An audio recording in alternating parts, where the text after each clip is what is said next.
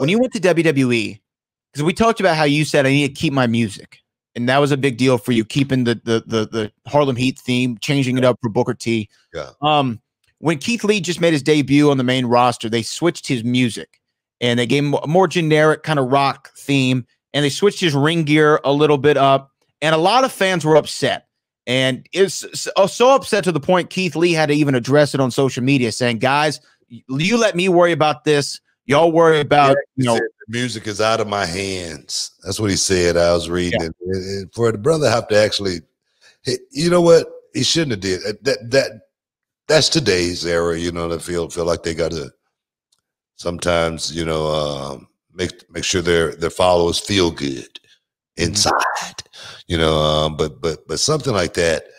You know, him getting some flack from the internet over WWE changing his music is ridiculous. It really is ridiculous. I mean, I could see if um, Keith Lee had gone through what what I went through, which had I had my music for I don't know how many years before. You know, I got the WWE. Um, I don't know, ten years plus, at least ten years. Um, I had that same music. Um, th- that's a little bit different. Uh, Keith Lee is different kind of brother, man. And and I, and one thing I, I can say, I don't think this is something that's going to rub him or make him, you know, flinch or anything like that. Maybe um, get, you know, giving a shout out to his followers and saying, hey, you know, hopefully we can address. I think he said I'll address this later or something like that. Yeah, I think something like that.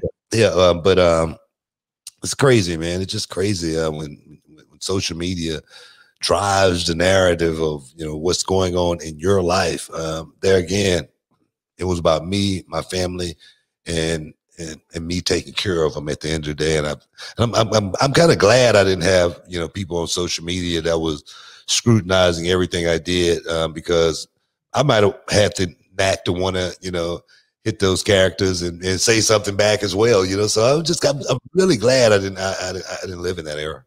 Also, it gets in your head as somebody who's come up in the social media era when you see something that's said about you in a comment or something, you know, sometimes you sometimes you throw it to the side, but sometimes you you you take it to heart and it starts making you question yourself like, "Oh man, did I really sound like that?" or "Oh, did I really you know, and and you start second guessing yourself and I think as a performer, especially in the ring, second guessing yourself is the worst thing that could possibly happen. You have to be confident when you go out there. But my question to you is this Did not even in WWE and WCW, WWE, or TNA, any places that you work global, did they ever come to you and say, hey, we're going to change your look or change your music or change something about you that for you didn't feel right and may have altered your trajectory at all?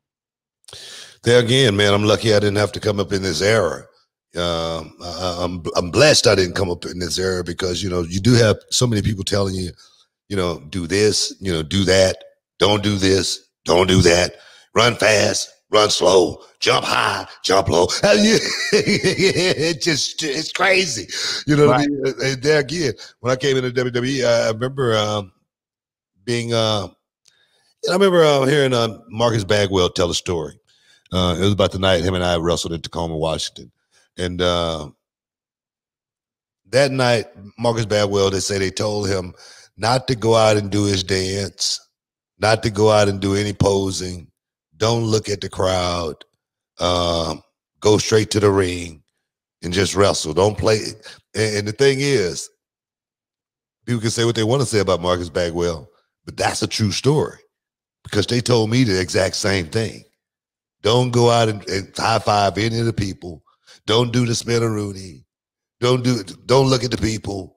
Walk straight to the ring get in the ring, work.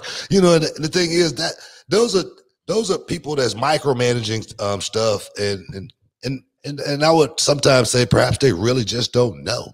Um, and there again, one person wasn't telling me, um, you know, to do everything or not to do everything. It was several different people. And I remember I went to the boss back in the day. I, I mean, I, you know, right hand of the man upstairs, right hand, right hand to the man upstairs.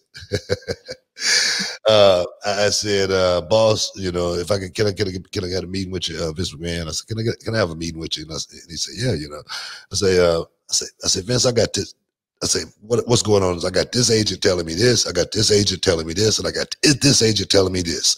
I say, now, I know I'm going to get fired that way. I say, so if you don't mind, if I could go out here and do my stuff my way, and uh, if I don't put, you know, behinds in the seats, just fire me.